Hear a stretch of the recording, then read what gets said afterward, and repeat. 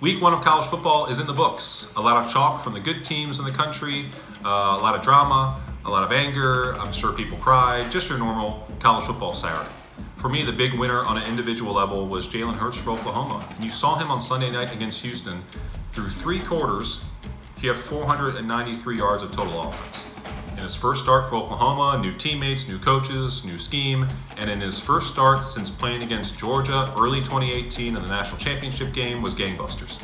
On a team level, no win comes close to what Auburn did against Oregon. You know, down 21-6 in the third quarter to win 27-21 with a true freshman quarterback in Bo Nix.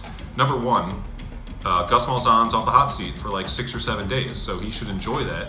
Number two, Nix is obviously the guy going forward. Malzahn made a good pick in choosing him to be the starter. And three, we now look at Auburn because of this win as a college football playoff contender. I know it's one week, but until they stub their toe, until they fall flat, Auburn is in the mix along with an Alabama, Michigan, Ohio State, Oklahoma, so on down the line. And the Pac 12 as a league needed to shift the narrative and change the way it is looked at across the country. And this was an opportunity, an opportunity squandered by Oregon and for the Pac 12. And even though Auburn won this game, and yeah, super impressive, congratulations, wasn't a great weekend for the SEC. Think about this. Uh, Missouri lost to Wyoming. Okay. South Carolina lost to North Carolina. Okay, that happens. Uh, Ole Miss lost to Memphis. Okay, that happens.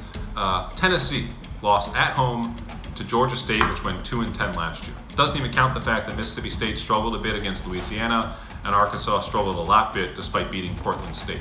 Even with Auburn's win, it wasn't a great weekend for the SEC. Hey sports fans, you want to see more videos like this?